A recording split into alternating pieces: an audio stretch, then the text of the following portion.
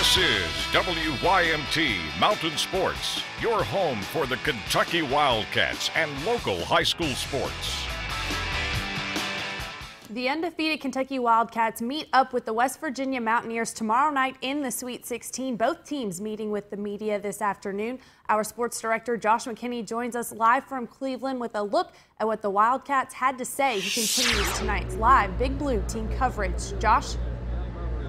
Well, Lauren, you know as well as I know, offense wins games, but defense will win you championships. And Thursday night's matchup between Kentucky and West Virginia will feature two teams that pride themselves on defense, especially the Mountaineers. Virginia Mountaineers advanced to the Sweet 16 with a 10-point win over Maryland, and they did it with defense, forcing 23 total turnovers and scoring 26 points off of those turnovers but the Kentucky Wildcats feel they will be prepared for the pressure.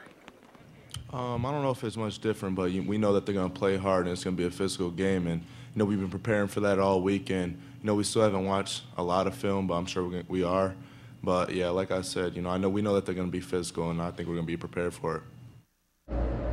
Now, Kentucky has seen defensive pressure before this season with teams like Louisville and Arkansas, but Bob Huggins, West Virginia head coach, is one of the better defensive coaches in all of college basketball. So we will see what kind of adjustments the Wildcats have made when they take the court tomorrow night.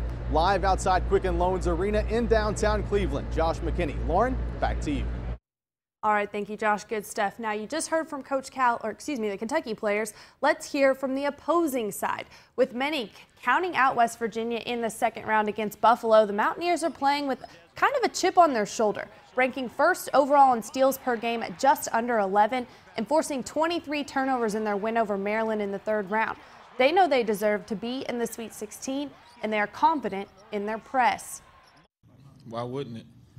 Know, we've been playing this way all year. Um, we've had success against everybody, you know, no matter what style or what type of players they have. So, you know, that's the only way that we play, and, and, and it's just up to us to make it work. I, you know, I I think it worked for a lot of groups. It's just a lot of guys. I think have. I mean, we, our uh, field goal percentage defense is probably the highest that I've ever I've ever had. Um, you know, we pressed at Cincinnati was more conservative, so we could still keep the field goal percentage down. We're we're. I mean, well, I'll give you an example. I think the Maryland game at halftime, they were shooting almost 55%, and we're shooting like 33, and we're up by one. You know, so we give up some things. A little NAIA basketball news. The UPike men's basketball season ended in heartbreaking fashion in the Elite Eight in Kansas City Saturday. But for senior guard Kenny Manigault, the awards keep rolling in. Manigault already named the Mid South Conference Player of the Year was named the NAIA Player of the Year. This is the first time ever in UPike's history a player has received this honor. KJ led the NAIA in total steals with 83 and scored a career high 44 points against Life out of Georgia, which was the fifth most points scored by an NAIA player in the 2014-2015 season. And Steve, that is sports. All right. Thank you, Lauren. We'll be right back.